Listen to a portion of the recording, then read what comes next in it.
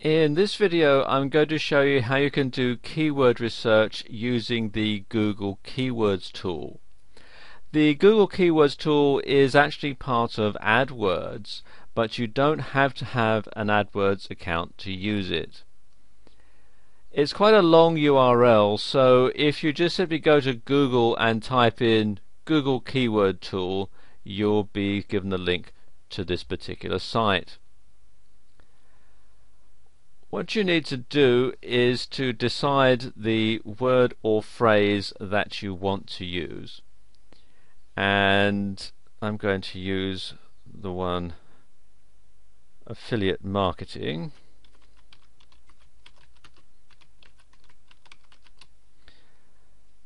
The term keyword is actually a bit misleading. You can actually type in a whole phrase and have it look for similar keywords for you then you will want to check this box here show any ideas closely related to my search terms and that narrows down the number of keywords that you're going to get so you only get relevant types of keywords. The match types you can have either broad exact or phrase. If you're searching for keywords to put in an article or on your blog or something like that broad is going to be the best setting for that.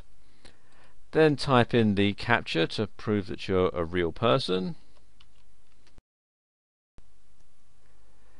And then click here on search. And then you can see here your keyword ideas. If you're not signed in to AdWords, then you're limited to 100. If you are an AdWords member, if you have an AdWords account, then sign in and you can get considerably more keywords. You'll see several things here. You'll see it says competition, global monthly searches, and local monthly searches. Competition is fairly self-explanatory. It's how much competition there is for that particular keyword on Google AdWords. That doesn't necessarily mean the number of websites out there that have that particular keyword on the site. It's just how many people are using this in Google AdWords. Global monthly searches in Google. This is going to be across the entire network and local monthly searches. This is going to be in the local version of Google if you're outside the US.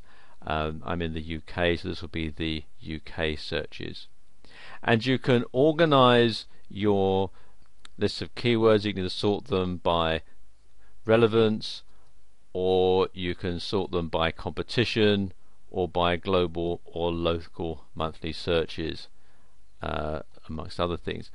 Generally, I find it's best to sort your keywords by global monthly searches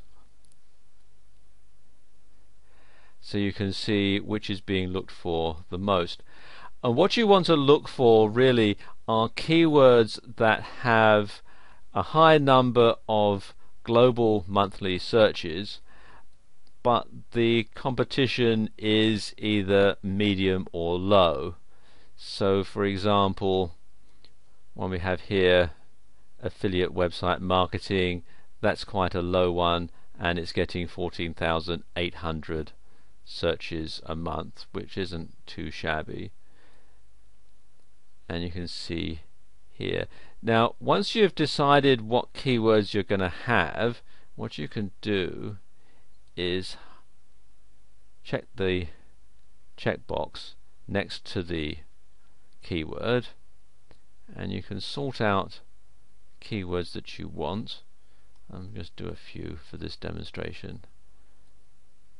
Like that, that's not a bad one. Affiliate marketing on the internet. This one's slightly higher, but it's still a good one. So I'll highlight that. And what you want to do is to go through and find as many keywords as you can that are going to be relevant to the website that you have. Um, and if you're writing articles or if you're posting on your blog, then to the particular subject matter that you're going to be covering. And when you've got those, then obviously you want to save them onto your computer. So come over here to where it says download. and click on selected and then you can decide which format you want to save them in. You can have it as a CSV file for Excel, which is probably the most common, or you can have it as just a regular CSV file, and there's some other formats as well. I'm going to stick with CSV for Excel, so click here on download.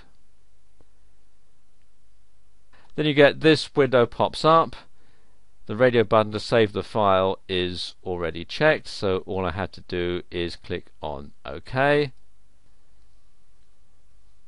And it's downloading it now. And there we go, it's telling me that the downloads are complete. So I can close the box now.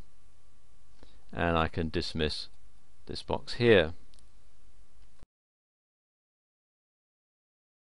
and you can see here we've got the uh, spreadsheet open so all I would need to do now would be to copy and paste this into a text document and write my article around it. So there you go, that's how you can use the Google Keywords tool to do keyword research.